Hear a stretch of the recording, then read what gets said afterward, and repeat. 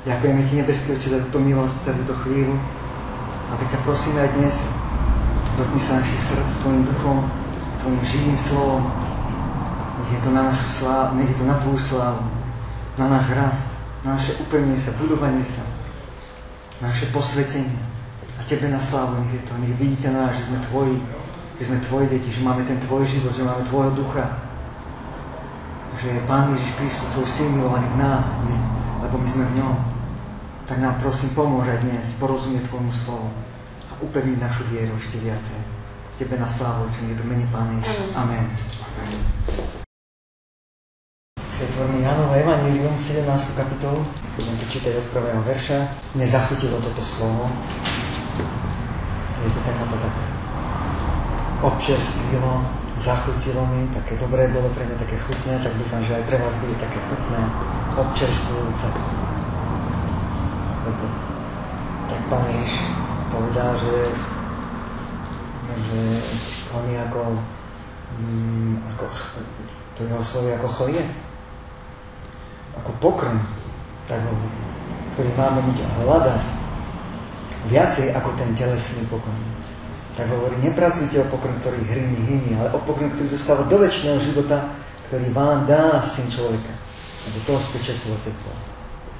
A teda ten pokrm, ktorý on dáva, to je jeho slovo.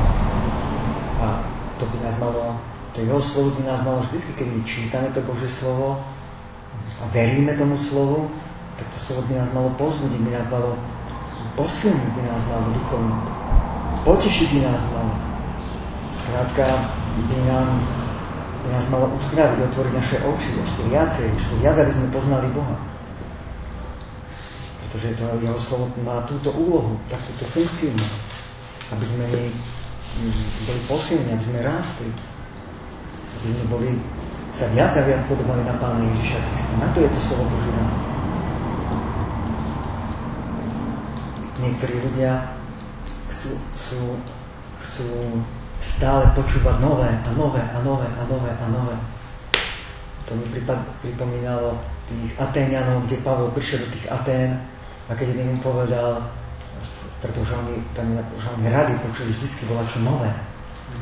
A aj, aj veriaci sú takí, niektorí, že oni chcú stále počuť nové a keď počujú volať, čo už počuli, tak na tom kývujú tým rukou a toto už viem, toto som už počul, to už, to už je na nič. Ale potom si takto musí, taký človek si musí dávať pozor, aby nebol nádený ako ten, ktorý pohrdá Božím slovom, ktorý hovorí tak ako tí Izraeliti, keď boli na tej púšti, že, že my chceme meso, my chceme, my chceme pór, my chceme neviem čo, my chceme ryby, lebo táto mana, ktorá nám každý deň padá z neba, tak my sme, tá sa nám už sprotivila, už sa nám zhnusila, my už ju nechceme.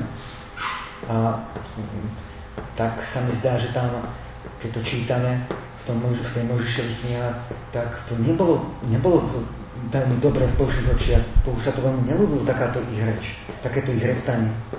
Že reptali proti tej mane, proti tomu každodennému pokrmu, ktorý im Boh dával. A preto aj my, my, nemáme pohrdať slovom Božím, aj napriek tomu, že my sme ho počuli, ale Boh nám, boh nám chce dať z toho pokrmu silu. Aj dnes. Že my uh, s tou svojou myslou ako keby rozumieme, ako keby vieme, o čom to je, alebo vieme tie slová, už vieme ich, ale, ale za tými slovami musíme poznať, musíme vidieť, že za tými slovami stojí duch. A to je duch, ktorý oživuje. To je duch, ktorý dáva silu. A litera zabíja, ale duch, je, duch oživuje. A pre teba nemá byť slovo ako litera. Že, že to ty máš napísané pred očami že to ty vidíš, alebo si to pamätáš stále. Ale pre teba má byť slovo Božie ako duch, ktorý oživuje. To znamená, to je, to je slovo je duch, ktorý dáva, dáva život stále. Či, či ho budeš dookola počúvať stále to isté, stále to isté, tak to musí pre teba tak fungovať v tom tvojom vnútri, v tom tvojom duchu, na to, na to tvoje srdce, na tú tvoju dušu a na tvojho ducha. To musí tak fungovať ako, ako jedlo, keď ty ješ, keby si jedol každý deň aj chleba, čo, čo každý deň človek môže jesť chleba a nikdy sa ho nepreje, tak aj to, a vždy ťa to posunie, vždy ťa to nasíti. Len niekedy aj tým chlebom, takým klasickým, normálnym ľudia pohrdajú. A oni nechcú, už sa, už im zúnoval chleba. Ale nevedia, čo to je, čo to je, keď nemôžu jesť chleba. Moja žena nemôže jesť chleba. Má zdravotný problém jedný. Hej, takýto pšeničný alebo aký. Hej, kysnutý. Ona môže jesť len nekysnuté, je to nie pšenicu, ale ráž a no, ráž alebo neviem ešte, neviem ešte, čo tam ešte, ešte voláka múka. Z toho môže, a nie. A ona by tak rada si dala ten chleba, keď ona zacíti vôňu normálneho chleba, hej, takého normálny chleba, hej, čo si kúpiš, alebo tak, tak to ona by si da, rada dala, len vie, že keď to zje, tak potom má, potom má um, všela, má krča. Ona to dlho nevedela o tom. Teraz môže volať to poviem, a prečo pán? Pán môže uzdraviť, netreba sa za ním modliť. Tak pán vie, prečo to má a nemyslí si, že za ním sa ne, nemodlí volať to, hej, nie len raz. Ale každý deň sa za ním stále volať, prihovára, aby bola uzdravená. Ale Boh vie, prečo to má, tak ako aj Pavel sa modlil za voláku vec trikrát a pán povedal, ne, dosť je moja milosť. To znamená, že ten osten ti ostane stále. Boh vie, prečo to je. A my máme byť taký pokorný, my sa stane jeho vôľa, naša. Čo, my sme, čo by my sme chceli? My by sme chceli, áno, my by sme chceli, aby bol každý zdravý, aby bol každý dokonalý, taký a taký, taký. Ale Boh je veľmi dobré, prečo niektorí ľudia sú takí, akí sú, s ktorými sa stretávame, prečo, prečo moja žena je taká, aká je, on je veľmi dobré, a tvoja, aká je, hej? alebo tvoj šéf, alebo neviem kto, tvoja mama, alebo kto, tvoji súrodenci, tí telesní, alebo bratia, prečo sú takí, akí sú. Pán vie veľmi dobre, prečo sú takí. A keď ty miluješ Boha, tak je to všetko na tvoje dobré. Len dôležité je, či ty neredtáš, ty sa ty nestažuješ a či ty uh, nemáš nervy smích a neviem čo všetko. Tak, máš mať srdce Pána Ježiša tiché a pokorné. No a keď nemáš, tak Pán ťa práve cestných učí, aby si mal. Pán Ježiš má pokorné srdce. Takže budeme čítať 17. kapitola od prvého verša.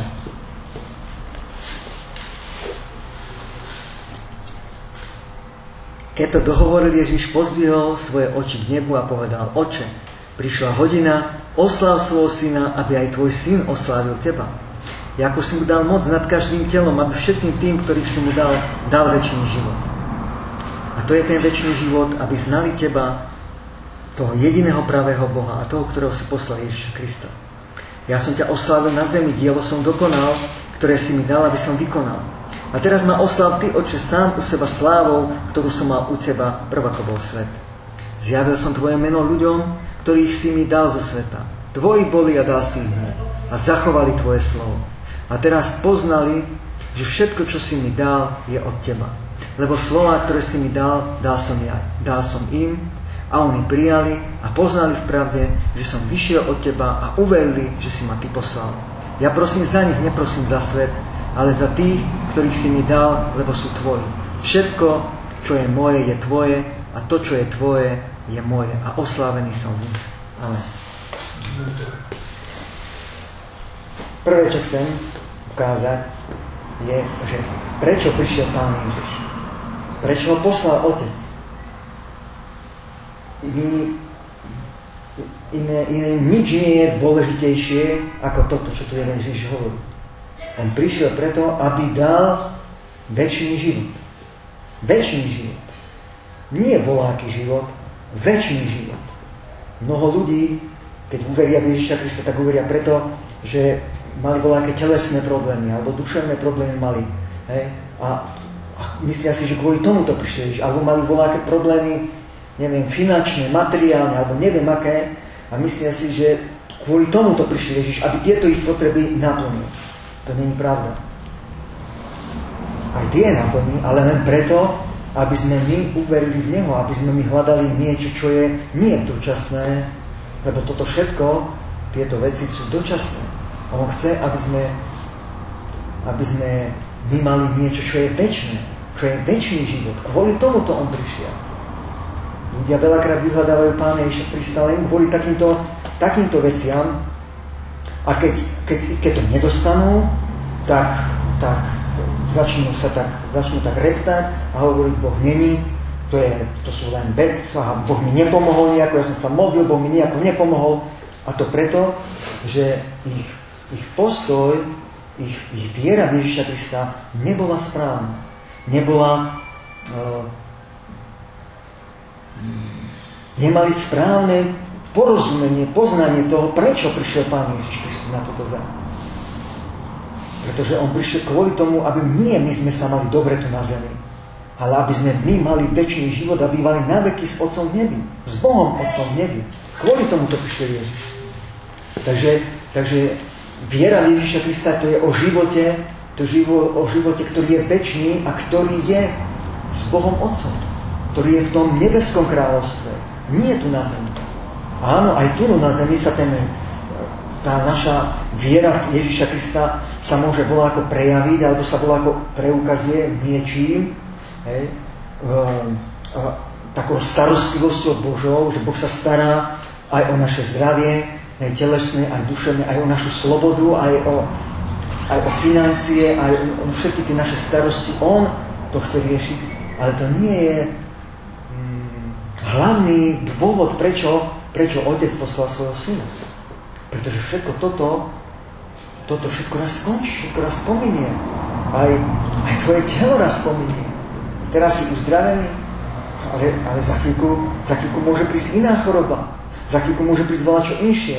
A, alebo dokonca tvoje telo môže prestať úplne fungovať, môžeš prestať úplne prestať chodiť, alebo ja neviem čo.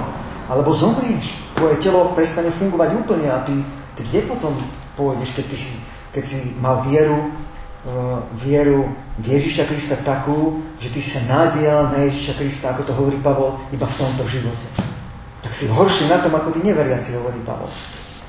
A preto naša viera v prvom, v prvom rade, viera v Pána Ježiša Krista je o väčšnosti. A preto aj Pán Ježiš, keď sa tu modlí, tak on sa nemodlí za tamto, za tamto, hej? E, ale on sa modlí za to a tamto, tamto vlastne on oznamuje, alebo keby, ako keby to tak pripomína otcovi, ale keďže to máme napísané, aj tu no, tak je to aj napísané aj pre nás, aby sme aj my vedeli, že kvôli čomu vlastne Ježiš prišiel. Tam máme napísané, oslav svojho syna, aby aj, som, aj tvoj syn oslavil teba, ako si mu dal moc nad každým telom, aby všetkým, ktorých si mu, aby všetkým, ktorých si mu dal, dal väčší život. Takže vidíte, Pán Ježiš tu dáva dôraz na ten väčší život. Na, na väčšnosť. A čo je ten väčší život? aby znali teba, toho jediného pravého Boha a toho, ktorého si poslal Ježiša Krista. A toto je ten väčší život. A, a vlastne, ak my, teda, ak my teda veríme v Ježiša Krista, tak naša viera má byť viera vo väčší život. Viera v život, ktorý je, ktorý nie je, nie je tu na zemi, ale ten väčší život, on je, on je v tom nebeskom kráľstve, v tej väčšnosti je ten väčší život. A Pán Ježiš práve preto prišiel, aby sme ten život mali. A ten väčší život je v tom, aby sme my poznali Otca. Aby sme my poznali toho jediného pravého Boha. A aby sme poznali Pána Ježiša Krista. Prečo to máme urobiť? Pretože, uh, pretože, pretože Otec práve preto poslal Syna, aby sme my, aby sme my poznali Otca, aby sme my poznali, aby sme my poznali toho, ktorý dal synovi život, aby sme poznali ten život otcov práve v synovi. Lebo, lebo syn má život otcov. Lebo jeho život je z otca. A, a nikto nepozná otca, iba syn pozná otca. Nikto nepozná tak otca ako syn. A preto musel prísť syn, aby sme poznali Otca, to znamená Boha Otca. To nemohol prísť voláky aniel. Pretože aniel nepozná tak Boha Otca, ako pozná syn. Pretože to je aniel, to je len posol. To je len posol, ktorému bolo povedané volačo a on len to, čo mu bolo povedané, tak on to hovorí, ale, ale to, nie je, to nie je ten život, ktorý, ktorý je v synom. Aniel nemá ten život, ktorý má syn. To má len syn ten život. A preto musel prísť syn, preto musel prísť syn, aby sme my mohli mať väčší život, a teda ten väčší život je, aby sme my poznali Otca, alebo toho jediného pravého Boha a poznáme ho vďaka synovi, skrze syna ho poznáme. A ako sa to deje, to tam máme napísané aj v, tomto, v tejto 17. kapitole, tam v 6. verši napísané, že zjavil som tvoje meno ľuďom, ktorí si mi dal od sveta. Tvoji boli a dal si ich mne a zachovali tvoje slovo. Ten život, ktorý, ktorý nám Otec dáva, je v synovi, pretože syn je jeho slovo. Slovo, ktoré je duch a je život. Slovo, jeho, jeho slovo je živé. Jeho syn je živý. A, a teda, teda syn otcov, to je jeho slovo. A teda keď my poznávame Pána Ježíša Krista, ktorý je syn Boží, to je to jeho slovo, tak my skrze to slovo, ktoré on nám hovorí, tak my spoznávame syna a skrze syna poznávame otca, lebo tu máme napísané ďalej. A teraz poznali, že všetko, čo si mi dal, je od teba lebo slová, ktoré si mi dal, dal som im a oni prijali a poznali v pravde, že som vyšiel od teba a uverili, že si ma ty poslal. Takže si prišiel a on hovoril len tie slová, ktoré otec mu dal. Tie slová, ktoré sú duch a sú život. Tie slová, ktoré boli u otca.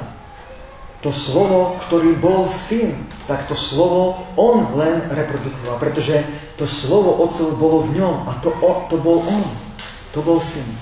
A teda všetko, čo, e, čo syn mal v sebe, ten život otcov, to poznanie otca, ako on poznal syna, tie slova, ktoré, ktorými, ktorými syn poznal otca, on sa s nimi podelil vlastne s tými, ktorí uverili v neho. A tam máme napísané, že teda uverili v Pána Ježiša Krista, oni prijali slovo a tam je potom napísané a poznali v pravde, iný preklad hovorí, že v skutočnosti, oni poznali skutočnosť, oni poznali volačo, čo je skutočné. Že som vyšiel od teba a uverili, že si ma ty poslal. A týmto Pán Ježiš, Pán Ježiš povedať, že oni ťa, oni ťa poznajú tak, ako ja ťa poznám, tak aj oni ťa tak poznajú. A to znamená, že aký život mám ja, keď ja mám ten tvoj život, keď ja som tvoj syn, ja som tvoje dieťa, tak aj oni majú tvoj život, lebo aj oni sú tvoje deti. Lebo aj oni sú tvoje deti, lebo ten život, ktorý si dal mne, dal som ja im. A to je to slovo, ktoré mal Ježiš. To poznanie Otca, ktoré mal Ježiš, tak on sa s tým podelil s tými, ktorí uverili v Neho, ktorí, ktorí boli s ním. A preto tam mám napísané potom v tom 10. verši. Všetko, čo je moje, je tvoje. A to, čo je tvoje, je moje. A oslávený som v nich. Oslávený to znamená, to, kým som ja, to je ukázané práve na nich. To znamená, ja som tvoj syn hej, a toto tvoje synovstvo, to, že som tvoj syn, to je ukázané práve na nich, že ja som tvoj syn. To znamená, že aj oni majú, majú podiel vlastne na tom synovstve svojho somu. To, čo mám ja, to majú aj oni. Pretože oni to prijali od Pána Ježiša Krista vierno. A v Jánovom Evangeliu v prvej kapitole máme napísané uh, prečítam od 12. verša ale všetkým, ktorí ho prijali, dal právo a moc stať sa deťmi Božími tým, ktorí veria v jeho meno, ktorí nie z krvi ani z vôle tela, ani z vôle muža, ale z Boha sú splodení. A on to slovo sa stalo telom a stánilo medzi nami a hľadeli sme na jeho slávu, na slávu ako jednorodeného od Otca a bol plný milosti a práva. Prvé, čo si my musíme uvedomiť, teda keď my veríme v Ježíša Krista a prijali sme ho, uverili sme v Neho, uverili sme, ako tu je napísané,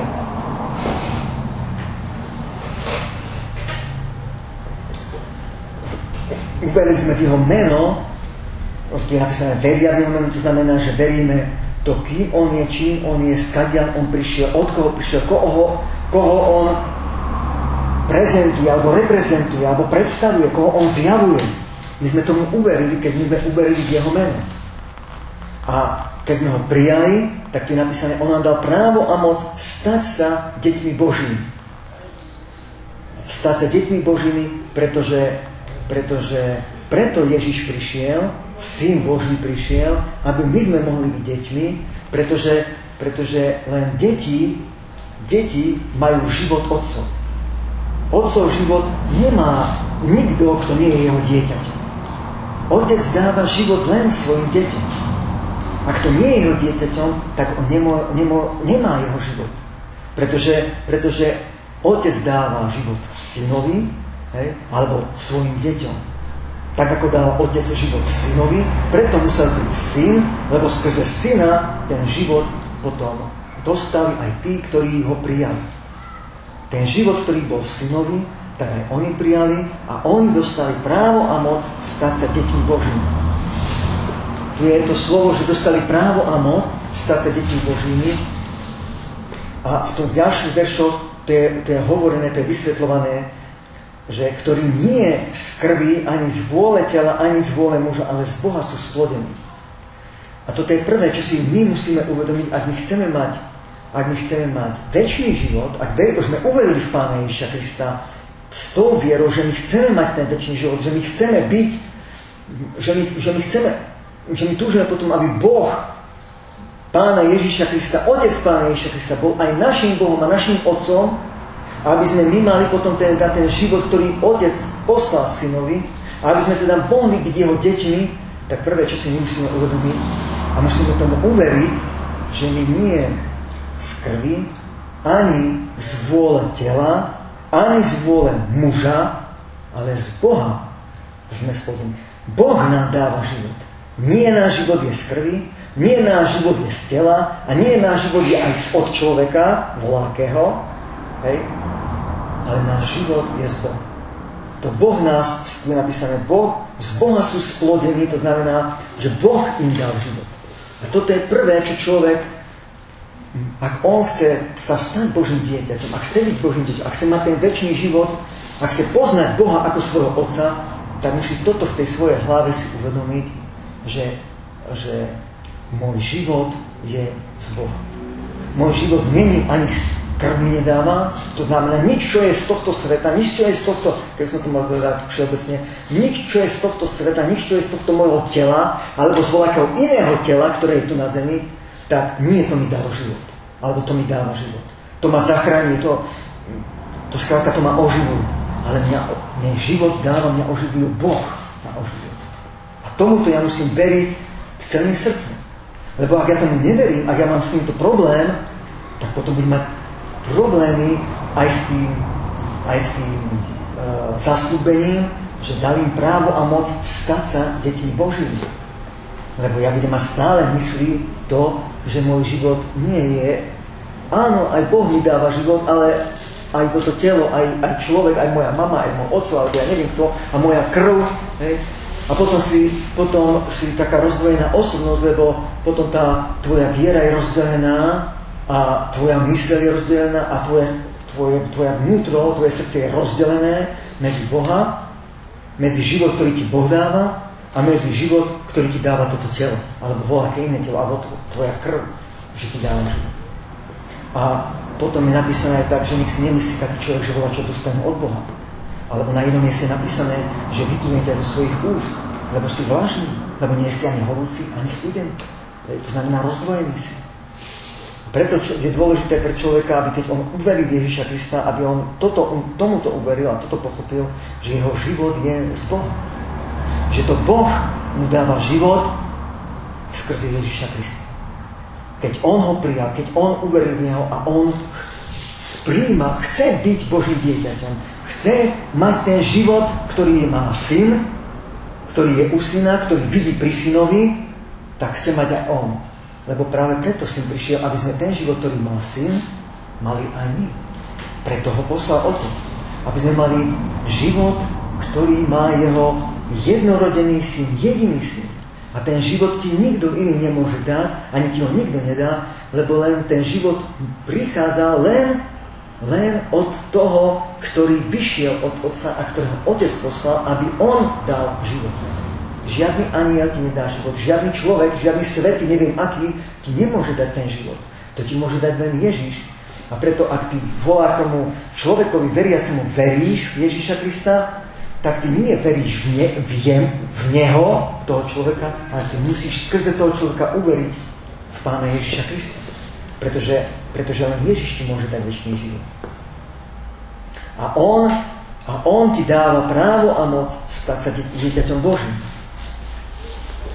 To, čo ti ten život dáva, tu sme čítali, a on to slovo sa stalo telom a stálo medzi nami, aby sme hľadili na jeho slavu, ako na slavu jednorodeného od Otca. Takže ten život prichádza od Otca a ten život je v jeho slove, pretože to slovo, to slovo je jeho syn. A teda, keď syn, keď to slovo sa stalo telom, tak potom cez to telo, cez Pána Ježiša Krista, ktorý chodil po tejto zemi ako človek, hej, tak cez neho vychádzali voláke slova, ktoré, ktoré boli, to, bol, to je ten jeho život, ktorý mu Otec dal. Tak sme čítali v, tom, e, v tej uh, modlitbe, v tej 17. kapitole, že slová, ktoré si mi dal, dal som ja im. To znamená, že život, ktorý si dal ty mne, tak som ja dal im. Pretože to slovo, ktoré bolo v Ježišovi, to je Ježišov život. To je, to je Ježiš. A, a to, je, to nie je, že je Ježiš len, ale to je Otec. Lebo Otec dal život synovi. A teda to, čo je moje, je tvoje. A to, čo je tvoje, je moje. A oslávený som v nich. Teda život, ktorý má Ježíš, tak ten má otec. A, a otec, ktorý život má, to je ten život, ktorý má syn. A ten život sa nám zjavil v Pánu Ježišovi Kristovi a ten život my príjmame vierou Ježiša Krista tým, že my ho príjmame a že teda, a že teda hm, príjmame ten život vierou, príjmame to slovo, ktoré on hovorí, príjmame ako svoj život. Pretože, pretože život život to je to tvoje myslenie, to je to tvoje cítenie, to je to tvoje rozhodovanie, teda tvoja vôľa, to je tvoj život. A ak ty chceš mať život, ten, ktorý bol, ktorý mal syn a ktorý bol u otca a dal ho, poslal ho cez syna, tak ty musíš mať to myslenie, aj to cítenie, aj to rozhodovanie sa, ako mal syn, lebo syn mal ten istý život, ako mal otec. Syn sa nerozhodoval, nemyslel, ani necítil ináč ako otec a, a teda a otec tento život dal synovi. A syn nič inšie nemyslel, nerobil alebo necítil, len to, čo cíti otec. A to je ten život. A ten život teda prichádza do nás a dáva nám vlastne Pán Ježiš skrze to svoje slovo, skrze to svoje učenie. Pretože synovstvo sa príjma učením. Tak máme napísané v liste Židom v 12. kapitole budem čítať od 4. verša a tam máme na toto napísané. Židom 12. kapitola 4. verša. A e, ešte ste sa nesprotivili až do krvi v borbe proti hriechu a zabudli ste na napomenutie, ktoré vám hovorí ako synom. Môj synu, nepohrdaj kázňou pánovou, ani neodlievaj, keď si ním káraný lebo koho pán miluje, toho kázni a švíha každého, koho príjma za syna. Ak znášajte kázeň, Boh sa vám podáva ako synom. Lebo kdeže je nejaký syn, ktorý ne, ktorého by nekáznil otec? Ale ak ste bez kázne, ktorí sa stali účastnými všetci, vtedy ste cudzoložňatá a nie synovia. A potom svojho tela otcov sme mali za kázniteľov a ostýchali sme sa. Či sa teda o mnoho viacej nepodriadíte otcovi duchov, aby ste žili lebo tamtí na málo dní, podľa toho, ako sa im videlo, káznili, ale on na užitok dostať podiel na jeho svetosti. A pravda, niektoré kázanie, keď je prítomné, nevidí sa byť radostným, lež smutným, ale pozdejším pokojným ovocím spravodlivosti odpláca tým, ktorí ním boli vycvičení.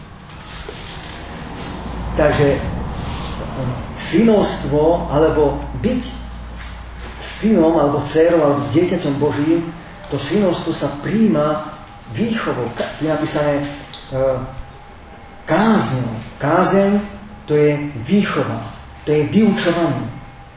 To znamená, to znamená, že cez voláke slova, slova sa my stávame um, deťmi toho, ktorý nás vychováva, ktorý nás kází.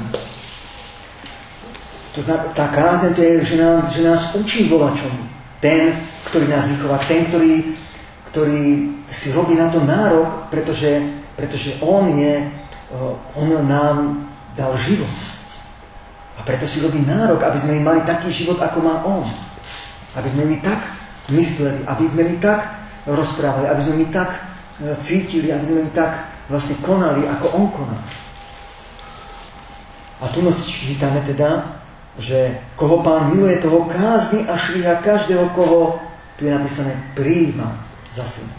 Ale všetkým, ktorí ho prijali, dá právo a moc stať sa Božími deťmi. A tu čítame, že každého, koho príjma za syna, tak kázni a švíha každého. Kto koho príjma za syna. Čo nie sme, nie sme ešte deťmi? No práve to sa má ukázať, či sme alebo nie. My sa máme stať deťmi a deťmi sa stávame skrze jeho slovo. Pretože to, to, v tom slove je ten jeho život. To jeho myslenie, to jeho cítenie, tá jeho vôľa, to jeho rozhodovanie. To, kým on je. V tom je práve v tej kázni je ukázané, v tom kázaní, v tom slove, v tom vyučovaní je ukázané, kým on je. Preto sme tam čítali v tom eh, v tej veľkňazskej modlitbe, že že slova, ktoré si mi dal, dal som ja len, a prijali a v pravde poznali, že som ja vyšiel od teba a uverili, že si ma ty poslal. Takže takisto ako apoštolovia verili Ježiša Krista, počúvali jeho slova, uverili, uverili, keď počúvali tie jeho slova, poznali, že áno, tieto slova, to, to nie sú obyčajné slova, tam máme svedectvo aj v tom Jánom Evangeliu, že keď tam boli akí vojaci, išli chytiť Ježiša, tak oni keď sa vrátili a nedoviedli ho, tak prečo ste ho nepriviedli, tam hovoria tí, tí kniazy alebo tí zákonníci alebo kto. A oni povedali, nikto tak nehovoril, ako tento človek hovoril. Že aj oni boli sami do tým. A keď Ježiš hovoril voľaké vyučovanie, tak tam máme napísané zasa, že oni žasli nad jeho učením, lebo hovoril ako ten, ktorý má právo a moc, a nie ako zákonníci. Hej.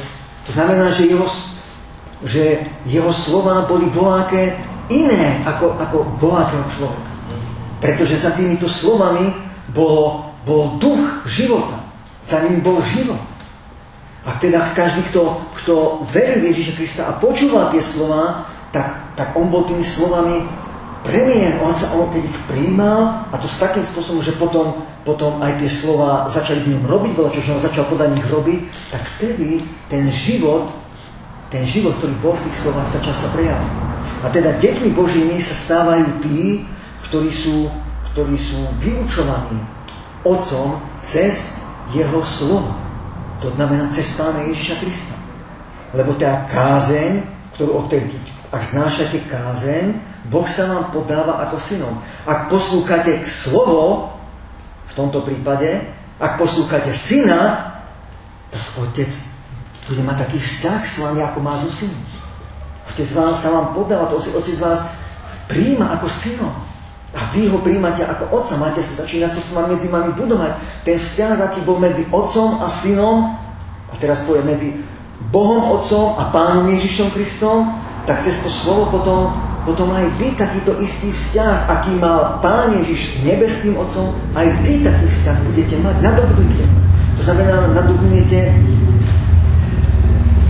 za nadobudnete, budete mať spojenie, budete mať vzťah, ktoré má to spojenie, budete mať, ako má Pán Ježiš, tak má, ako, ako má Pán Ježiš s Otcom, tak aj vy také budete mať. Keď sa budete podávať tej kázni, keď budete poslúchať to slovo. Pretože, pretože v tom slove je ten život. Pretože Pán Ježiš práve k tomu, kvôli tomu prišiel. Aby tým, ktorí uverili v Neho, aby im dal, dal väčšiný život, ktorých ktorí vlastne oni idú za ním, ktorí ho počúvajú, tak oni, on, on im dáva ten väčší život. A ten život teda vychádza z toho jeho slova. A tu máme napísané, že Otec nás príjma za synov a my sme, keď chceme byť jeho synmi a dcerami alebo deťmi, tak my ho musíme poslúchať. Pretože Otec alebo, alebo Syn Boží, to on je taký syn, ktorý poslúcha Otca. On sa Otcovi ničom neprotiví. On sa nebúri proti otcovi. On keď otec povie čo, tak on robí tak. Nie je tak, ako je to u, u detí alebo u otcov a synov tu no v tomto svete, alebo tých telesných, Keď otec volá, čo hovorí, alebo mama, tak ten telesný syn buď počúvne, alebo tá dcera, alebo sa vzbúria, neposlúchne dupne nohou a ide proti otcovi, a ide proti mame, ide proti tým, ktorí mu dali život. Búri sa. Ale, ale v tomto prípade, ak my chceme byť Božími deťmi, ak my chceme byť Božími deťmi, ak my chceme mať ten život synov, tak ten syn nás neučí vzbure. On nás učí poslušnosti, on nás učí pokore, on nás učí krotkosti. A to cez to svoje učenie, cez to svoje slovo. Preto je tu napísané, že on nás vychováva. To je úplne iná výchova, ako sme my mali od našich telesných rodičov. Hoci aj oni nás vychovávali, ako to aj tu čítame, a potom svojho tela otcov sme mali za kázniteľov, za vychovávateľov. A teda, keď sme urobili veľa, čo sme, sme sa hambili, hej, ale a tak teda on o čo viacej sa, by sme sa nepodriadili otcovi duchov, aby sme žili. Pretože tí telesní otcovia, oni nám dali život, ale on, ten život bol dočasný, ten život bol iba taký, aký oni mali. A oni nebudú žiť na veky, tí telesní naši rodičia. Alebo nebudú mať ten telesný, v tých telách nebudú žiť na veky. Ani my nebudeme žiť na veky. Ale keď my príjmame ten život, ktorý je od, od Otca, ktorý je v Kristovi Ježišu, ktorý je v tom slove, tak pretože Ježiš žije na veky, Syn žije na veky, pretože má život Otcov a nebudeme žiť na veky. Možno nebudeme žiť v týchto telách, ako máme. Pretože Ježiš povedal, telo nič neosoží. Telo nie je život dáva telo. Duch je, ktorý oživuje. A slovo, ktoré vám hovorím, je duch a život. A preto, ak my chceme mať ten väčší život, a ak my chceme poznať Otca a mať ten väčší život, tak my musíme byť jeho deťmi. A jeho deti sú tí, ktorí poslúchajú Otca. Poslúchajú to slovo Otcové. To znamená, poslúchajú Pána Ježiša Krista. Ale cez túto poslušnosť my príjmame vlastne to slovo. Preto prišiel Ježiš, aby sme my vlastne to, čo má On, aký život má On, čo sa týka vzťahu s Otcom, tak aby sme my presne taký istý mali. My nebudeme mať iný život, ako mal Ježiš. My nebudeme mať ani lepší, ani horší. My máme mať taký, ako má On. Pán Ježiš povedal, nie je učený nad svojho učiteľa, ale vyučený bude každý, kto bude ako učiteľ. Čo bude? Vyučený. A preto Otec, keď my sme uverili v Pána Ježiša Krista a máme tú vieru, že teda my túžime po tom väčšom živote, že my chceme mať ten život, že my chceme byť tam v nebeskom kráľovstve, že my, my, že my túžime potom, aby Boh bol našim Otcom, no tak potom my, my sa túžime mu vo všetkom podriadiť. Lebo my, keď tomuto sme uverili na začiatku, tak my sme, my sme okúsili, my sme spoznali tú lásku Otcovu, ako nás Otec miluje skrze Pána Ježiša Krista. My sme okusili tú lásku Božu, ktorá je v Kristovi Ježišovi. My sme poznali ten život, ktorý nám bol daný. Keď Pán Ježiš prišiel, keď zomrel za naše hriechy na kríži, keď nás vykúpil z moci temnoty, zo smrti nás vyslobodil a preniesol nás do života, tak napísané si Kološov. Do, Otec nás v Kristovi, v svojom synovaní, synovi premiesnil do kráľovstva svojho syna, svoje lásky. A, a vykúpil nás jeho krvou a máme odpustené všetky naše hriechy. A prečo sme vykúpení? Prečo máme odpustené hriechy? No, aby sme sa mohli stať Božími deťmi. Lebo s tými hriechmi, a keby nám Boh neodpustil, my sa nemôžeme nikdy stať Božími deťmi. Lebo, lebo, lebo náš Boh je lebo Boh je svetý, on, on, tam v ňom nie je to žiadneho hriechu, v ňom nie, je žiadneho zla, nič tam nie A preto on, to, to synovstvo sa začína vierou Ježiša Krista a vierou, že on zomrel za moje hriechy na kríži. A mám odpustené všetky moje hriechy v Kristovi Ježišovi. A v tej chvíli, keď to ty máš, tak si dostal právo a moc stať sa Božím dieťaťom. A teraz, keď si chceš sa stať Božím dieťaťom, tak teraz poslúchaj Otca. Nechaj sa ním vychovávať. Nechaj sa ním vyučovať. Cez koho? No cez toho jeho syna. Cez toho jeho slovo sa nechaj vychovávať. Lebo nikto nepozná otca, iba syn.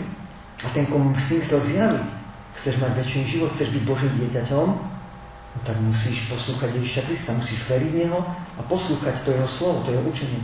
Bez tohto skrátka nestaneš sa Božím dieťaťom. Ne, nepoznáš Otca a keď nepoznáš Otca, tak nebudeš, nebudeš mať väčší život. Lebo to je ten väčší život, aby si poznal toho jediného pravého Boha a toho, ktorého, si poslal, ktorého poslal Ježiša Krista, jeho syna. aby si poznal. Pretože v synovi sa ti otec dáva spoznávať a v synovi potom aj ten život máš. A v synovi sa jedine môžeš stať Božím dieťaťom. Len syn ti môže dať toto, toto právo a túto moc stať sa Božím dieťaťom. Bez syna skrátka nemôžeš byť dieťaťom Božím a teda bez syna nebudeš mať ani otca, tak je napísané. Kto má syna, má otca.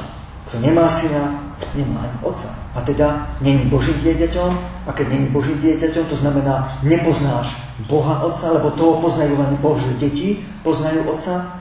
A teda nebudeš mať ani ten život, ktorý má Otec, lebo deti Božie majú život Boha Otca. Tak to je, tak to je logické keď na tom človek rozmýšľa, tak to, tak to funguje.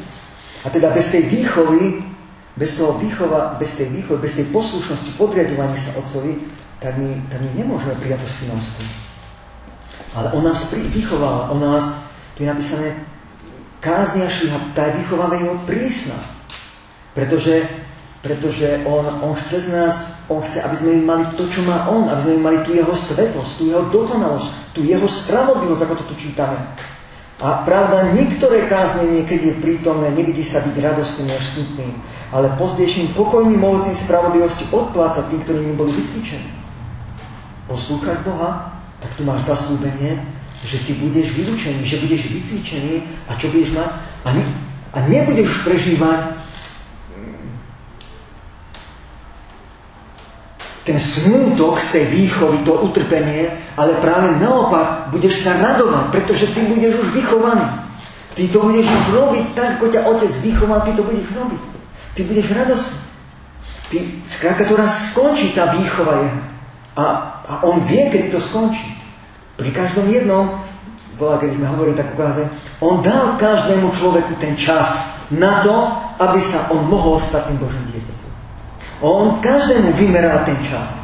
Jednému toľko, druhému toľko. A on vidí pri každom jednom človeku, že, že ako ten človek konkrétny, ktorému dá, Boh dal ten čas, ako ten čas využíva. Využívaš ho na to, aby si sa ty stal Božím dieťaťom. Aby si spoznal toho, ktorý ti dal ten život. Aby si spoznal to slovo jeho, toho jeho syna a skrze neho prijal ten život, ktorý ti otec poslal synovi. Využívaš ten čas, ktorý máš, ten krátky čas, ktorý máš, no vymeraný. Či si povieš, a ja mám ešte čas. To dosť času na to, aby som ja, aby som ja uveril Ježiša Krista, aby som ja poslúchal Ježiša Krista, aby som ja mm, nasledoval Ježiša Krista, aby som ja spoznal Ježiša Krista a aby som ja spoznal nebeského Otca. Ty máš čas na to, aby si mal väčší život? Ešte, tak to je, to je, nie je dobré myslenie. To je, mm, to je vzbúra. To je pohrdanie, odmietnutie života, ktorý je v Kristovi Ježišovi, toho väčšného života. To je odmietnutie tej, tej Božej ponuky, otcovej ponuky. Boh Otec náš synovi volá a pozýva nás do toho vzťahu s ním, aby sme my boli jeho deťmi. Pán Ježiš prišiel preto, aby nám to povedal. Že Otec chce, aby sme boli jeho deťmi, aby sme boli jeho synmi a dcerami. A to sa dá len takto. To vierou v neho a to poslušnosť toho slova. Ale tam máme to zaslúbenie teda, že možno tá výchova je veľmi prísna a veľmi taká tvrdá a bolestivá. Ale keď sa necháme ním vyučiť, keď, sa, keď my túžime byť pod tými Božími deťmi, tak nakoniec príde tá radosť, príde ten pokoj do našich životov a tu je napísané a pozdejším pokojným ovocím spravodlivosti odpláca tým, ktorí im boli vycvičení. Potom budeš odmenený tou radosťou a to nie je, že dočasnou radosťou, to väčšnou radosťou, tou väčšnou láskou, tým väčšným pokojom, tou väčšnou dobrotou Božou budeš odmenený, pretože ty budeš poslúchať toho svojho otca, lebo sa nehal vyučiť, lebo sa nehal vychovať. Keď my poslúchame otca, keď my poslúchame to slovo Otcovo, keď my poslúchame teda Pána Ježiša Krista, toho Syna Jeho, to Jeho vyučovanie, keď my poslúchame, keď sa my riadíme podľa Neho, tak my prežívame lásku, radosť, pokoj, pretože máme, máme ten, ten život, ktorý má, ktorý má Syn a ktorý, a ktorý má aj Otec. Ale keď my ho neposlúchame, to Jeho slovo, tak prežívame smutok, prežívame bolesť, prežívame možno zlosť máme, možno nenávisť, Skrátka nemáme pokoja vo svojej, hlavne vo svojej duši to prežívaš, keď neposlúchaš Otca. Tu no hlavne vo svojom srdci to si uvedomuješ, že volá, čo zlé robíš a tam ti to prináša to, to, to, také, takú bolesť, také utrpenie, také, taký nepokoj ti to tam prináša. A, a potom, keď, keď, ty, keď človek nereaguje na toto, na tieto takýto, takéto, takéto výchovné napomínanie, ktoré prichádza do tej našej duše, to, čo my cítime, to, tie nepokoj, to zlé, a my si uvedomíme, že sme ho čo zlé robili a nerobíme s tým poriadok, neodvraciame sa od toho, ale zatvrdzujeme srdce, tak potom sa to prejaví aj v našom tele, že tam potom príde nie, že len, že to budeš mať vo svojom duši, vo svojom srdci, voľaké pocity budeš mať zlé, nepríjemné, že, máš, že ťa to trápi, že ťa to bolí, ale keď ty na to nereaguješ, zatvrduje svoje srdce, tak potom sa to prejaví aj na tele, to znamená, že tú bolesť a tú, to utrpenie, to trápenie budeš mať aj, aj v tele. Aj skrze telo to budeš. A to je presne tak, ako aj pri telesných rodičoch, keď, keď tie deti neposlúchajú tú otca, mamu, keď im hovorí slovom, hej, a oni stále budú robiť to isté, ten istý nepoučili sa na slovo, tak potom ten otec alebo mama zoberú skrátka tvrdšie za, za, za, za, zakročia a to už nebude len o ich duši, že teda keď si ty nevnímal vo svojom srdci, že to, čo si robil, bolo zlé, no tak teraz budeš cítiť cez tvoje telo, že to, čo si robil, bolo zlé. A ty sa máš na toto poučiť. A keď sa nepoučíš na to, tak to bude ešte tvrdšie to bude. Ešte prísnejšie to bude.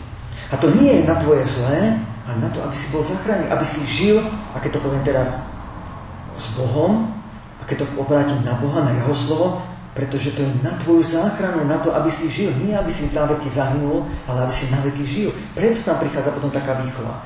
Ak ty sa neháš poučiť, ak nezatvrdzuješ svoje srdce, dnes, keby ste počuli jeho hlas, nezatvrdzujte svoje srdcia.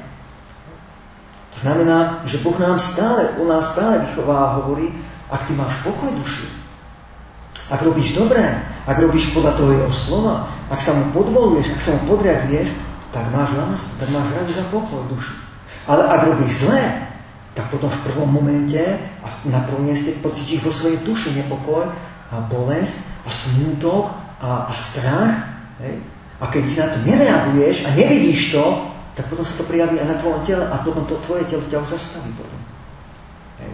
Možno nezastaví, možno to bude len málo, ale čím ty budeš viacej tvrdší, tak Bože mnoho hovorí, keď čím ty budeš tvrdší, tak ja budem tvrdší. Pavel to tam hovorí, že darmo ti proti osnu sa spečovať. No tak málo ťa pichol ten osten, ten pichliač ťa málo pichol, no tak zatlač ešte viacej. Ak si ty myslíš, že ty vyhráš, že to pichliač, to, ten pichliač to bude, vyhráš nad tým bodliakom alebo nad tým trňom, ty vyhráš, no tak vyskúšaj to, zatlač na ešte hlbšie. Či to bude, či odstúpi ten bodliak, ten trň, alebo ty odstúpiš nakoniec. Kto vyhrá, bodliak alebo ty? A logicky, keď na tým človek rozmýšľa, no tak ty nemôžeš vyhrať na tým, lebo to, ten trn to nikdy nebude boliť, ale teba, hej. A keď ty nemáš rozum, tak ty budeš stále to tam držať, aby ťa to stále bolelo. No, tak potom, potom naozaj no, nemáš rozum. Pretože to, ty hneď, keď sa človek pichne normálne, tak hneď povie au a dá ruku preč. A nie, to tam ešte viacej tlačí. A takto je to s Bohom. On nás takto vyučuje. Takáto je to, je to jeho kázeň a, a to švihá každého. Keď my robíme čo sa, tak potom toto prežíva. V žalme 119.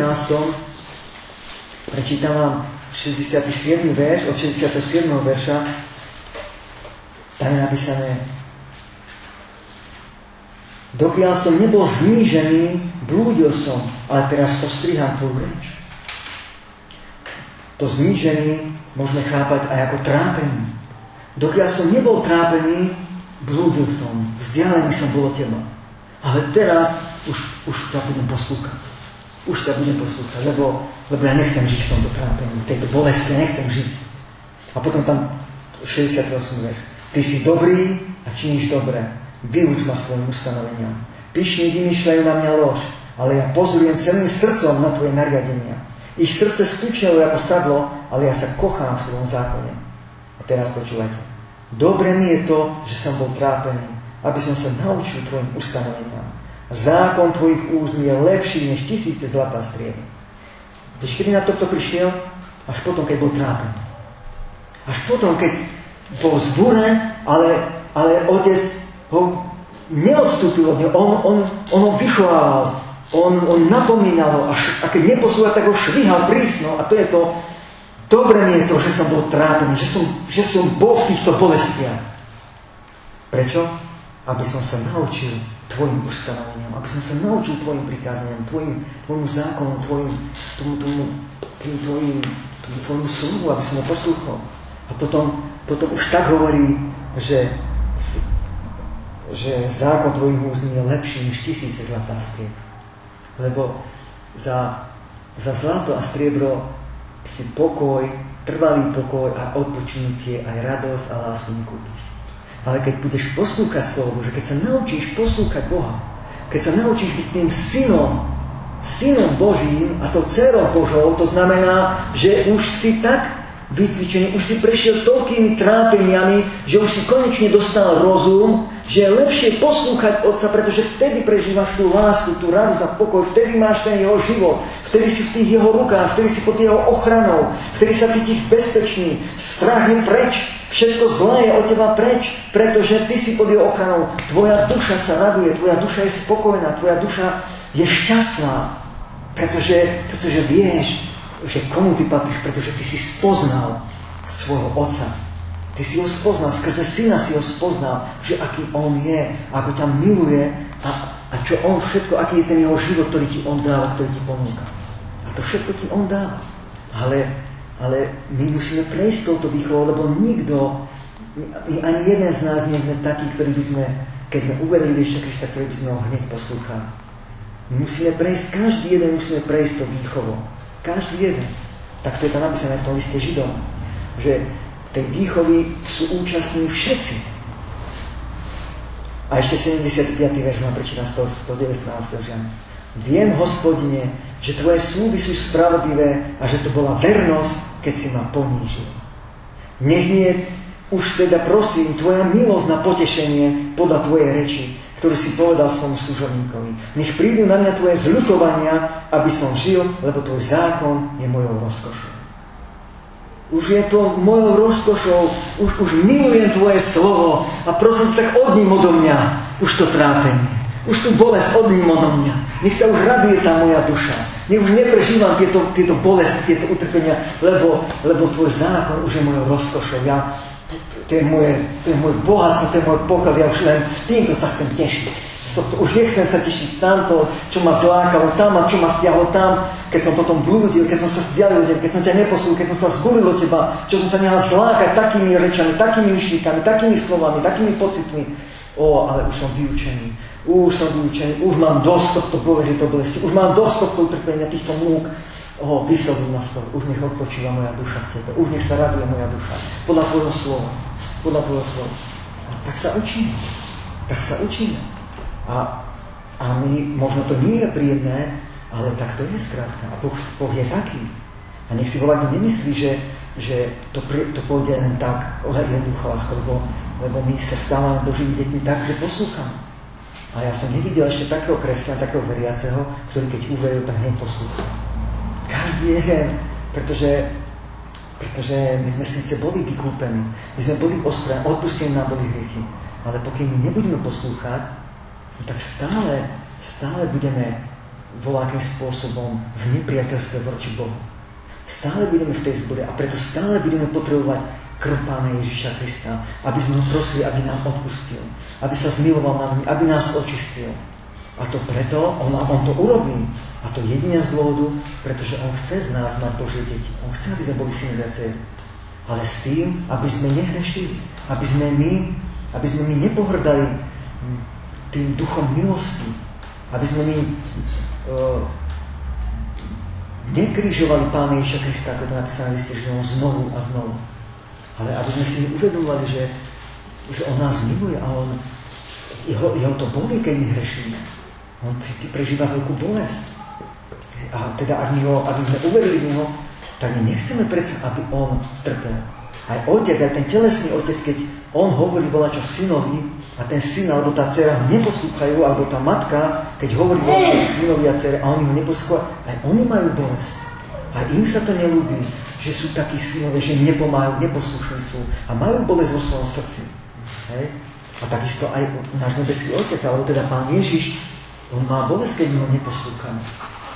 A teda, keď my, ho, keď my sme uverili v tú jeho milosť a v tú jeho lásku, v tú jeho dobrotu, tak máme všetko robiť preto, aby sme ho poslúchali. A keď ho neposlúchame, tak nás to musí viacej boleť ako jeho. My musíme, nám to musí viacej vadiť ako jemu. Že my to nechceme, my chceme ho poslúchnuť.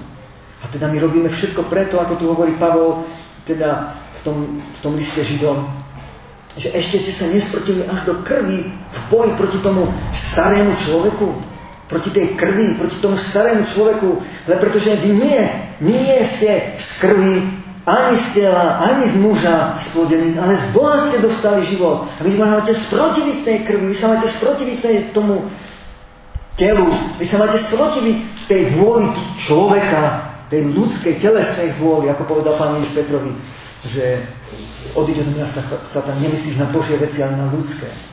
Ty nemáš myslieť podľa tela, nemáš myslieť podľa človeka, ty máš myslieť podľa Boha. A vy sa máte sprotiviť až do krvi sprotiť proti tomu hriechu. To znamená, vy máte, ísť, vy máte ísť proti tej krvi, to, čo žiada tá tvoja krv. To telesné, čo žiada.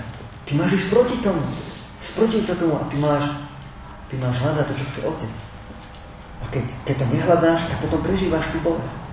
Prežívaš tú bolesť duši v prvom, v prvom rade a keď ani to nepomáha, tak potom aj telesne sa to bude prejavovať veľakým spôsobom. Ale na druhej strane máme iný prípad, máme iný, iný prípad aj v tom, že niekedy to utrpenie prežívame aj, aj napriek tomu, že, že, že poslúchame Boha, že robíme podľa. To znamená, že sú niektoré prípady, kedy, kedy my, napriek tomu, že my poslúchame Boha, ale aj vtedy my zažívame utrpenie, trpíme. Či duševne, alebo, aj, alebo väčšinou telesne trpíme. A to je kedy? Keď sa má ukázať tá naša láska k Otcovi. Že my, že my sme jeho deti, že my ho poslúchame. A že my sme ochotní aj trpieť kvôli tomu, aby sa jeho slovo naplnilo. Aby sa, aby sa tá jeho sláva ukázala aby sa to slovo, ktoré je duch a život, aby sa naplnilo u nás. My sme ochotní, pretože my poznáme Boha, aby sa ukázalo, že my sme spoznali Otca, že my sme spoznali Pána Ježiša Krista a preto budeme poslúchať to jeho slovo, aj keď to budeme musieť pri tom aj trpieť, aj znášať zle. Pozrite sa na Pána Ježiša Krista, on poslúchal Otca, on nezrešil, ale poslúchal Otca, trpel, no trpel. A, a, a veľmi trpel. A to nie preto, že sa rešil, ale pretože poslúcha Otca. Ale tak Ježiš povedal, aby svet poznal, že ja milujem Otca a že ako mi prikázal Otec, tak činí. Vstánte, poďme odtiaľ, tam napísané 14. kapitole. To znamená, že, že takto svet uvidí, že, že ty trpíš bez, bez viny, bez hriechu trpíš, kvôli spravodlivosti Boží, kvôli tomu, čo je správne podľa Otca, ktoré ti bolo ukázané skrze Pána Ježiša Krista, tá spravodlivosť Otcova, tak ty trpíš. Matúšovo Evangelium 5. kapitole máme napísané. Počuli ste, že bolo povedané starým. Oko za oko. Zub za zub. Ale ja vám hovorím, nie tak budete robiť. Nie budete robiť podľa tela, podľa krvi, podľa vôle človeka. Nie budete tak robiť. Budete robiť podľa ducha. Vy budete mať nie mysel tela, ale mysel ducha budete mať lebo, lebo váš otec je otec duchov. Sme tam čítali v tom liste Židom, v tej 12. kapitole. My sa máme, keď sme sa podriadovali telesným otcom, o čo viac sa podriadíme otcovi duchov, aby sme žili. To je náš život.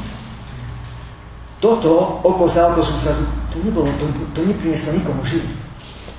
Ale to druhé, čo Ježiš hovorí, ale ja vám hovorím, tak toto je duch a je život. A kvôli tomuto ty máš byť ochotný znášať aj zle. Pretože tam napísané. Ale ja vám hovorím, o 39. verša to budem čítať. 5. kapitola Matúša Evangelium. Ale ja vám hovorím, aby ste sa neprotivili zlému, ale tomu, kto ťa udelí po tvojom pravomlíci, nastav i to druhé. A, a tomu, kto sa chce s tebou súdiť a zjať tvoju suknu, nechaj môj plášť. A kto ťa bude nútiť, aby si s ním išiel jednu mílu, idi s ním dve. A tomu, kto ťa prosí, daj, a on kto si chce od teba niečo vypožičať, sa neodvracaj. Počuli ste, že bolo povedané, milovať budeš svojho blížneho a nenavidieť budeš svojho nepriateľa.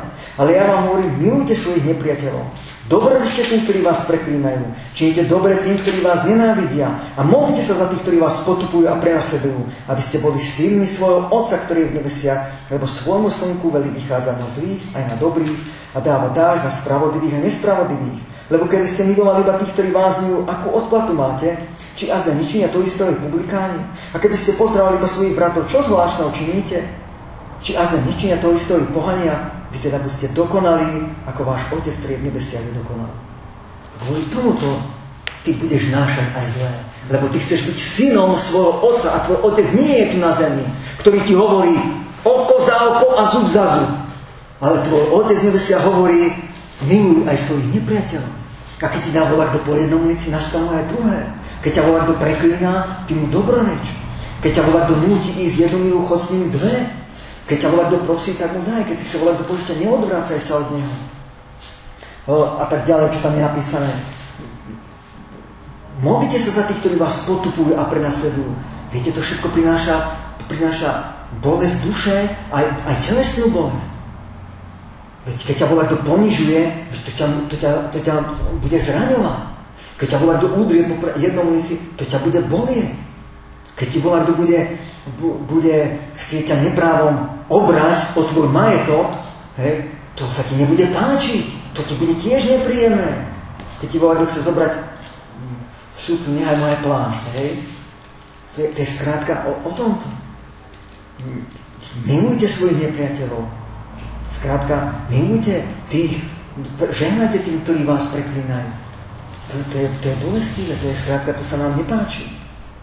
A my, my pretože my milujeme Otca, my sme, otc, my sme deti Božie a preto my nie z krvi, ani z tela, ani, ani z vôle človeka, ale z Boha sme splodení a preto náš život nie je podľa tela, ani podľa e, krvi, ani podľa človeka, ale podľa Boha a preto my toto budeme všetko znášať, pretože to je práve to slovo, cez ktoré nás Ježiš alebo nebeský Otec nás cez toto slovo vlastne vyučuje, ako On myslí, ako on cíti, ako, aký je on, aký on má život.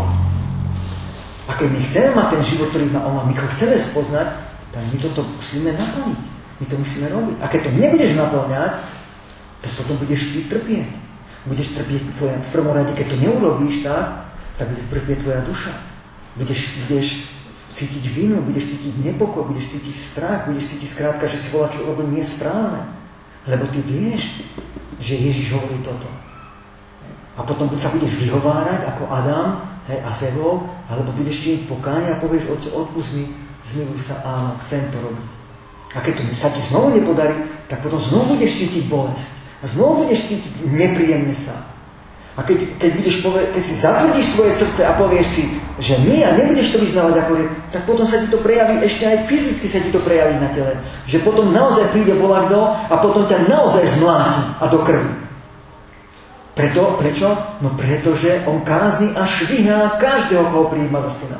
A potom sa môžeš čudovať, alebo potom budeš si môcť spýtovať toto vo svojej hlave, vo svojom svedomí a potom budeš hovoriť, áno, dobre mi bolo, že som bol takto dobitý, dobre mi to bolo, teraz už ťa budem poslúchať.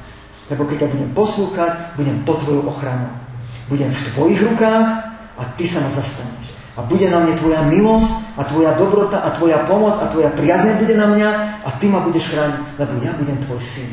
Ja budem tvoj dcera, ja budem tvoje dieťa a ty sa postaráš aj o mojich nepriateľov. Hej. Nepomsta, hovorí pán, ne, ja odplatím.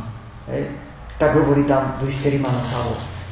Nie vám patrí pomsta, nie vy máte, keď ti dá po jednom lici, keď ťa volá kto ponižuje, keď ťa volá kto klame, keď ťa volá kto okráda. Nie ty, Ty máš sa na tým rozhorčovať a trápiť a bolestiť. No ak sa na tým trápiš, no tak potom sa zamyslí nad tým, kde je tvoj poklad. Kde, kde sú tvoje poklady? Na čom ti záleží viacej? Na tom, čo je na zemi, či na tom, čo je v nebi? Komu sa chceš ľúbiť? Sebe, ľuďom okolo? Alebo sa chceš ľúbiť nebeskému Otcovi? U koho chceš mať priazeň? U Boha alebo u ľudí? Ľudia ti budú hovoriť, áno, dobre si spravil. Ale Boh ti tak nepovie. Pretože on jasne hovorí cez svoje slovo, cez svojho syna Ježiša Krista, čo sa jemu ľúbi, čo je jeho mysel, čo, sú jeho, čo je jeho vôľa, čo je jeho, aká je jeho, aká je jeho láska. To ti ukazuje. V liste Petrovom, prvom liste Petrovom, Peter tam hovorí bola čo podobné, v druhej kapitole, od 19. verša vám prečítam. Lebo to je milosť, ak niekto pre dobré svedomie Božie znáša zarmutky, trpiac nespravodlivo. Lebo veď aká je to sláva, čo hoci i pohľavky trpíte, ak hrešíte. Ale ak dobre robíte a tak bez nich trpia znášate, to je milosť u Boha. To znamená, to je priazeň, to je Bohu milé, to sa Bohu ľúbi, pretože vtedy, ako tam aj Pán Ježiš hovorí, akú máte odplatu, keď vy nenávidíte svojich nepriateľov? Akú máte odmenu od Boha? No žiadno, to robia aj títo poháňa, to robia aj tí e, hriešnici, aj oni tak, sa, tak robia. A oni nemajú žiadnu pochvalu od Otca alebo od Boha. Ale keď budete robiť ináč, keď budete milovať svojich nepriateľov, budete žehnať tým, ktorí vás preklinajú, tak vtedy sa budete ľúbiť Otcovi. A vtedy Otec sa bude k vám priznávať, budete mať milosť od Boha, budete mať pomoc od Otca, budete mať priazeň u Neho. A Otec bude hovoriť, áno, toto je môj milovaný syn, nedotýkajte sa ho. Toto je ten môj milovaný. Toto je, on patrí mne, on patrí mne. A tam ten Peter teda to hovorí, ako máte potom, keby ste, keď hrešíte, keby ste hrešili. Ale keď bez viny trpia znášate, tak to je milosť Boha, to je Božia milosť, to je skrátka, to sa ľúbi Bohu, to je dobrota Božia ukázaná na vás. To je tá láska Božia, to ukazuje, že ste Božie deti. Pretože Otec takto znáša, alebo Pán Ježiš takto znáša, syn takto znáša, pretože on konal otcovú vôľu. A tam ďalej to potom pokračuje. Hej, a tam, tam, tam to potom hovorí. Lebo na to ste povolaní, pretože aj Kristus trpel za nás, zanechajúc nám príklad, aby ste nasledovali jeho šlapať. Hej, ďalšie verše hovorí. To znamená, to je príklad Pána Ježiša Krista, aby sme my znášali aj zlé. Aj, aj keď neprávom, nespravodlivo, skrátka, sme boli obvinení, alebo sme boli skrátka ubližené nám bolo. Ponižovaní sme boli.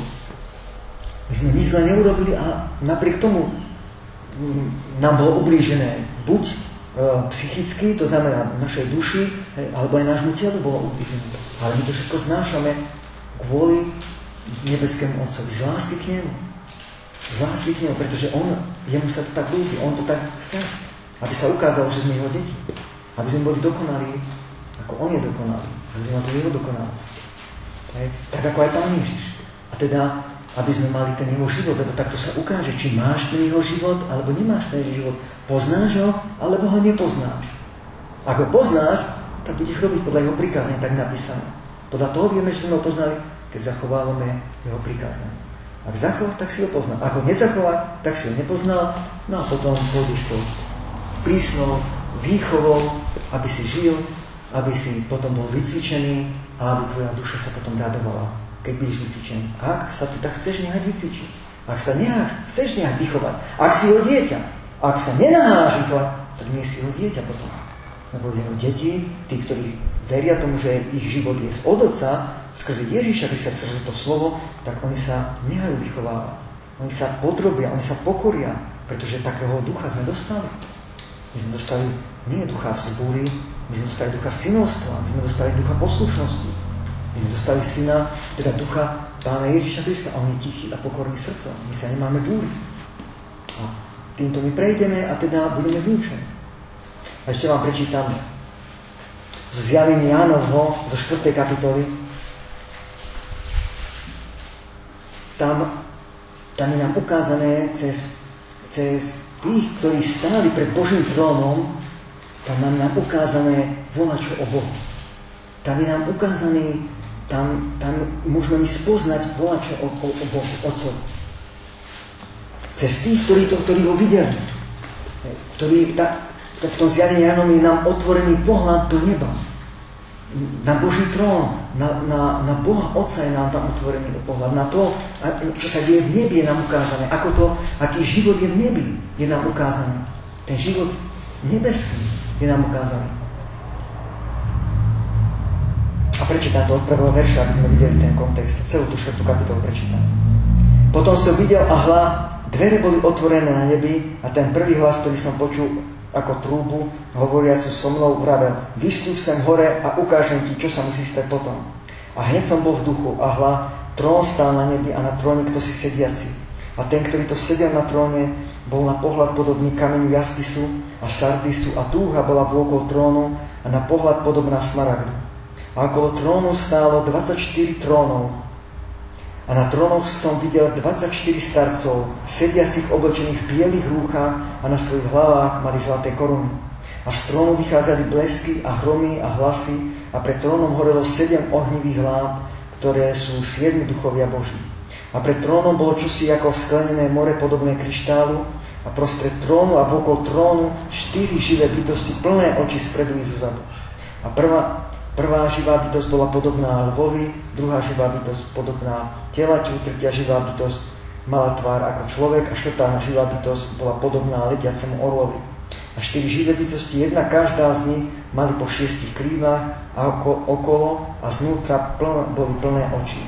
A nemajú odpočinku ani vodne, ani v noci a hovoria Svetý, svetý, svetý, Pán Boh Všemohúci, ktorý bol, ktorý je a ktorý príde. A keď dajú živé bytosti sediacemu na tróne živému na veky vekov slávu a čas a vďaku, padnú 24 starci pred sediacim na tróne a budú sa kláňať živému na veky vekov a hodia svoje koruny pred trónom, hovoriac, hoden si, Páňa náš Bože, vziať slávu a čest a moc, lebo Ty si stvoril všetky veci a pre Tvoju vôľu sú a boli stvorené. A vidíme taký pohľad do neba, tu no, v tomto zjavení, áno, pohľad na ten Boží trón, na to, okolo, čo sa deje okolo toho, v takej najbližšej, najväčšej blízkosti okolo trónu, čo sa deje. Tam vidíme.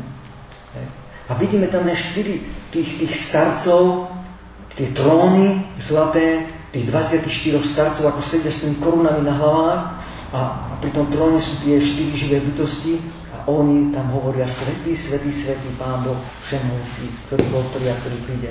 A keď toto tí starci počujú, tak oni z tých trónov sa hádžu na zem pred, pred, o, pred tým, ktorý sedí na tom tróne, hej, hádžu tie svoje koruny na, na zem pred neho hej, a, a kričia vlastne a volajú Hoden si, Pane a náš Bože, vziať slávu a čas a moc, lebo Ty si stvoril všetky veci pre Tvoju vôľu sú a boli stvorené. Viete, to sú to, tí, ktorí sú tam pred tým trónom, tí starci, to, sú, to, to je bola kto, kto poznal Boha. Kto vie, aký je Boh. Kto vie, kto zažil, kto spoznal Boha. Preto sa tam oni dostali, preto tam sedia. Sú starci, pretože prijali voláku múdrosť majú. Voláku, voláke poznanie dostali o Bohu. Preto majú biele rúcha, pretože, pretože si ich očistili. Majú koruny, pretože majú voláku slávu, voláku moc majú. Uh, sedia na trónoch, pretože majú voláku autoritu. Voláke postavenie v nebi oni majú. Oni, oni majú nad voláčím správu tí starci, ktorí sú tam okolo toho trónu. Ale keď tí anieli, alebo tí, teda tie živé bytosti hovoria tam svety, svety, svety, tak títo, ktorí majú v tom postavení také, také miesto, že sú najbližšie okolo toho trónu, sú najbližšie, majú tam voláku, voláku slávu, teda aj moc, a majú tam voláku aj čest, aj voláku vládu, aj voláku múdrosť majú, tak oni robia jedno. Padajú z tých zlatých strónov, hádžu tie koruny svoje, svoje pred ten trón, padajú a, a vyznávajú volačne, že, že hoden si, Pane náš Bože, vziať všetku slávu a čest moc. Koho? Aj tú našu aj tú našu si hoden vziať. Prečo? Lebo Ty si stvoril všetky veci a pre Tvoju vôľu sú a boli stvorené. Aj to, čo my máme, to, čo sme máme teraz my, tak to je len vďaka Tebe. To, čo my sme dostali od Teba, nič nie je naše. To všetko patrí Tebe. Všetka chvála, všetka čest, všetka sláva patrí Tebe. Pretože pre Tvoju vôľu sú a boli stvorené. Všetko bolo stvorené pre Teba a pre Tvoju vôľu. A toto my vidíme a toto nás má toto nás má poučiť, že o tom, že ten, tento svetý, svetý, svetý, všemohúci Boh, ktorý žije od vekov na veky, väčší, svetý a spravodlivý, dokonalý, skrze ktorého, pre ktorého je všetko urobené, tak On nám dáva milosť stať sa deťmi Božími. On chce, aby sme boli deti. Aby sme mali miesto tam pri ňom. Aby sme mali miesto tam, kde je On. Aby sme boli tam spolu s ním boli. Na tom jeho mieste. Tento, ktorý, ktorý tí anieli volajú Svetý, Svetý, Svetý Pán Všemoc. Tí starci, tí, ktorí, ktorí tam tvárov v tvár vidia, tak oni padajú a hádžu tie kornie, vzdávajú sa všetkého, čo majú v nebi, vzdávajú sa a vzdávajú chválu a padajú pre ním na kolená, kláňajú sa mu, pretože vedia, že, že to, je, to, je, to, je, to, je, to od neho všetko, jemu všetka chvála, takú úctu majú k nemu, takú vážnosť, takú, takú, skrátka, takú bázeň majú pre ním. A, a teda, keď my to vidíme, máme dovolené pozrieť do neba, tak potom, aby sme my pochopili, že prečo ten nebeský Otec nás tak vychoval. Prečo On to všetko chce a čo nás čaká, aby sme my boli tam pred tým trónom, aby sme sa tam dostali. Pretože On je svetý, svetý, svetý a skrz Neho pre Neho je všetko stvorené. A my, aby sme sa, keď my chodíme po toto, aby nás to viedlo do takej, keď toto nám je ukázané, aby nás to viedlo do takej pokory, do takej bázny, do takej, do takej úcty pred ním.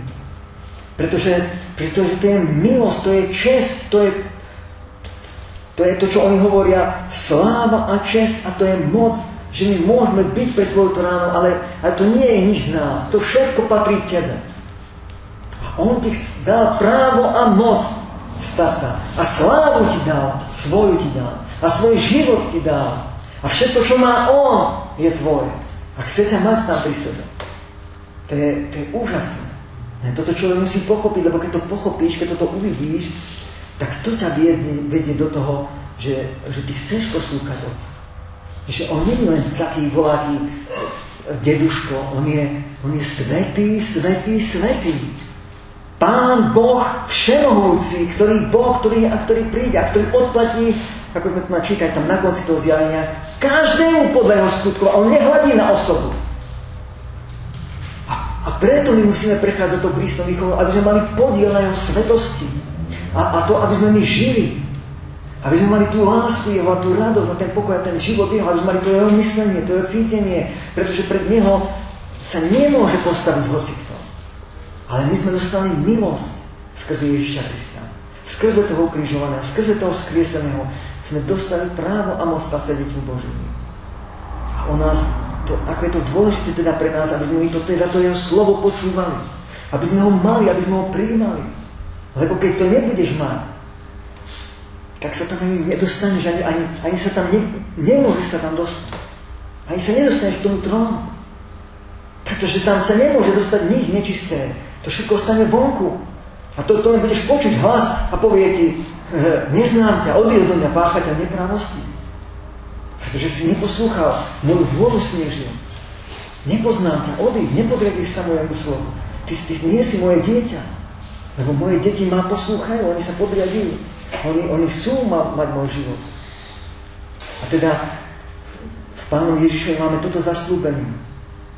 A tak toto slovo celé bolo o tom, aby sme teda poznali Otca. Aby sme poznali toho jediného a pravého Boha Otca, ktorý je ako sme tu na konci čítali, ktorý je takýto. On, on, skrátka, on je takýto, on je svetý, on, skrátka, on je dokonalý. A my tu dokonalosť príjmame len tak, že my veríme v Ježiša Krista, očistujeme sa to jeho krvou a učíme sa od Neho byť tými deťmi Božími. Posvedcujeme sa. Stávame sa, príjmame tu jeho spravodlivosť, tu jeho svetosť. Robíme všetko preto, aby sme to mali. Aby sme sa mu ľúbili vo všetkom. A takéto srdce my musíme mať, lebo to je srdce syna. To je srdce, ako som to predtým hovoril v tom žalme, a toto, čo sme čítali, dobre mi je to, že bol trápený, lebo teraz ťa už budem poslúchať. A teda, keď aj prechádzame rôznymi utrpeniami, a nie kvôli hriechu, nie kvôli tomu, že sme neposlúchali, ale naopak, že sa dostávame do veľkej situácie, aby sme my poslúchli Boha aj, a, a, a, aby sa ukázalo, že či my sme ochotní aj, aj to, tú bolesť telesnú, alebo neviem, akú znášať, preto, aby sa naplnilo jeho slovo, aby sa ukázalo, že my sme jeho deťmi. Toto robil Pán Ježiš. On tak miloval Otca, že on išiel až na kríž. A to je život syna. A, my prijali sme život syna. Máme Ježiša Krista, máme toho syna. Sme, sme synovia, sme dcery Božie.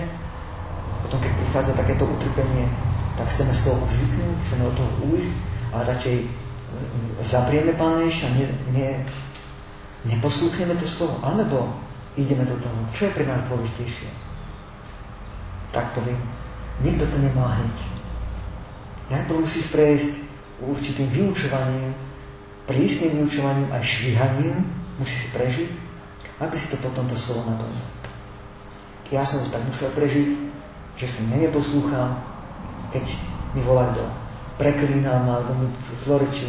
Tak som si aj ja nedal, povedal som o svoje, ale potom som, som vám to hovoril potom som plakal, keď som to možno aj ústami nepovedal, možno bola komu niekomu, možno hej, ale vnútri som cítil, že už v hlave som mal nenávisť proti tomu, čo nemil som, tak ma to bolelo v srdci. Ja som kričal na pána, aby, aby sa zmiloval, aby mi pomohol s tým, že ja to nedokážem.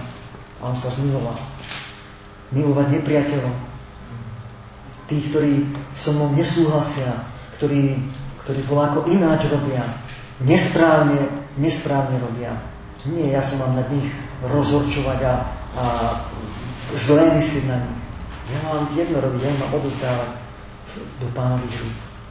Ja s ním nemôžem urobiť to. To ma, to ma naučí. Skrátka, pán Ježiš hovorí, ďakujem ti, oče, pane neba aj zeme, že si skryl tieto veci pred múdrymi a rozumnými. Nehajte ich. Nehajte ich, nech si idú. Či aj vy chcete odísť. A hovorí pán Ježiš. Skrátka, oni sa tak rozhodli. A ja s tým, skrátka to otec tak dáva nenaučili sa, nepočuli otca, nenaučili sa, tak idú preč. Nie sú moje ovce. Lebo moje ovce čujú môj hlas a nasledujú ma. A ja im dávam väčší život, hovorí Pán Ježiš. A tak tie, tie ovce Pána Ježiša Krista, tie, keď aj no, možno neposlúchujú na prvý krát, alebo na druhý, alebo možno na desiatý krát to slovo Pána Ježiša Krista, ale, ale oni sa stále, stále sa modlia, stále túžia, že to chcú urobiť. A budú vychovávaní. A čím pôjde to viacej, tak tým budú prísnejšie vychovávaní. A potom dojdú do takého štádia, kedy si povedia, sa už, už. To bola vernosť, keď si ma takto pomíže. To bola vernosť. A už mi teda buď milostivý a teda už, už mi daj to slovo z milosti, aby som mu poslúchal. Už nechcem toto zažívať, toto, takúto bolesť, takéto utrpenie. To už nechcem. A takýmto som aj ja musel prejsť. A ja verím tomu, ak, ak si doteraz neprišiel a ak ešte stále nepoznáš Pána Ježiša Krista, nepodriaduješ sa mu, tak budeš musieť aj ty prejsť takýmto voláčom. Či sa ti to páči, alebo nie, či si myslíš o tom, myslíš si o tom, čo chceš. Ale ak poslúchaš Pána Ježiša Krista, tak si víťaz. Tak budeš prežívať radosť a lásku, budeš mať toho tiché a pokorné srdce Pána Ježiša, synovo srdce, budeš sa radovať každý deň z tej Božej milosti. A keď príde voľaké slúženie, voľaké prenasledovanie, čisté a čisté dial, tak budeš stať pevne na, na, na tom jeho slove, tak to je milosť u Boha. A sa raduj, lebo máš milosť u Boha. A ďakuj mu za to a buď ako ten, ako tí starci, ktorí tam boli, buď máš maj tú múdrosť a maj tú, tú, tú, tú, tú, tú vedomosť, to poznanie Boha, že keď aj toto máš, že ty máš voľakú slávu a voľakú čest a voľakú múdrosť, a bola ako dokonalosť, ako čistotu, ako svetosť, bola akýsi víťaz, ale hoď tú svoju korunu, tú svoju slávu pred, pred tým trónom na zem a uvedom si, že to je len to je skrze ňo a pre ňo, to je len na jeho slávu, to nič nie z teba, to ti len, to len on ti dá. A to máš len pretože on ťa to naučil, on ťa to vyučil, to on len, to jeho milosť spôsobila, že si taký, aký si. A to ťa má ísť do tej ponižnosti, do tej pokory, ako tých starcov v tom Oni boli múdri, oni vedeli, oni neustali na tróne. Svetý, svetý, áno, svetý si, aj my sme. Tak? A my sme svetí, a my sme dokonali, sme čistí, a my máme to biele rucho, a my máme koruny a my máme tróny zlaté. Ale oni vedeli, že to je všetko od Neho, to, to nič je tvoje, ani ten trón nie je tvoj, ani tá koruna je tvoje, ani to rucho je tvoje, ani tá, tá múdrosť, to, to, že si aký si, že čo vieš, ani to je od to všetko je od Neho, to všetko je tá Jeho múdrosť. A preto Pokor si.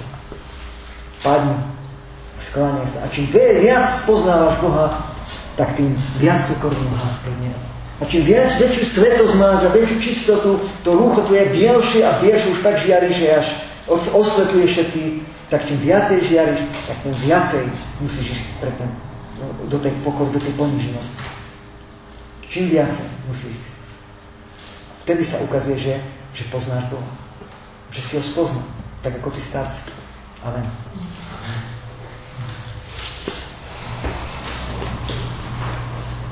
Ďakujem Ti, nebeský oče, za milosť, za slovo, ktoré sme teraz počuli. Daj nám milosť, daj nám múdrosť v tomto, aby sme tomu porozumeli a aby to, aby to vypôsobilo zmenu nášho myslenia v tom poznaní Teba, hľadaní Teba, túžbe po Tebe, túžbe po tom Tvojom slove, po Tvojom synovi, po tom, po tom Jeho učení, po tom živote, ktorý si nám skrze Neho dal ktorý nám zjavil si skrze Neho, cez to slovo Tvoje. Prosím ťa, pomôž nám v tomto, aby sme si to Tvoje slovo vrili do srdca, aby sme žili, aby sme boli Božími deťmi, aby sme, aby sme sa s nimi stali, aby sme boli, aby sme mali ten život, tvoj väčší život. Cez to poznanie Teba, Oče, cez to poznanie Pána Ježiša Krista. Aby sme my robili podľa toho Tvojho slova. Aj keby sme mali trpieť kvôli tomu slovu. Aby sme mali tieto naše tela, keby mali byť aj zničené kvôli tomu, aby Tvoje slovo bolo naplnené, tak nám daj milosť, daj nám v tomto múdrosť rozumieť, daj nám aj silu, aby sme obstáli. Na Tvoju slávu, je to a my ti budeme zdávať úctu, my ti budeme zdávať chválu, lebo my ťa budeme poznať a my budeme vedieť, že nič, čo máme, nie je z nás, ale všetko je Tvoja milosť. Všetko je Tvoja priazne, všetko je Tvoja múdrosť, Tvoja dobrota, všetko je Tvoja výchova, Tvoja opatera, Tvoja starostlivosť, ktorú si nám prejavil skrze Tvojho Syna Ježiša Krista. Amen. Amen.